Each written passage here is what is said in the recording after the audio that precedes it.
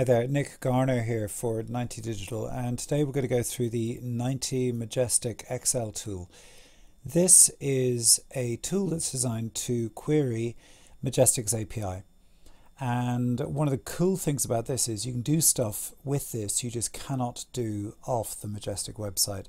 So what I'll do first is I'll just quickly go into how you get set up and get going and then I'll do a couple of uh, uh quick use cases.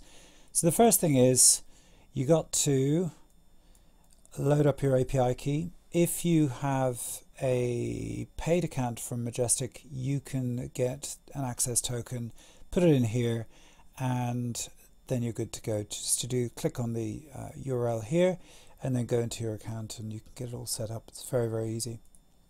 The next thing is that you have a whole bunch of controllers here which allow you to do different things. Now, what I've done is I've downloaded all the data from particular tools and uh, I've put them straight into into Google Docs here. So you can just see what the test data looks like which is quite useful. So you don't have to use any API credits up or anything like that. You can just have a look at that. The other thing is that anything that's a variable is in a blue box. And the key thing in terms of use cases, the, the key thing I find really, really helpful is the way you can query multiple domains in one hit and then export them straight into Excel without any uh, without any issues. Now, one of the best ones I think is probably backlink history. And here I can run any number of data, uh, any number of URLs.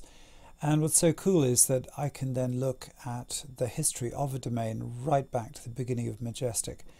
And from that, then I can start to draw some interesting conclusions based on whatever I see.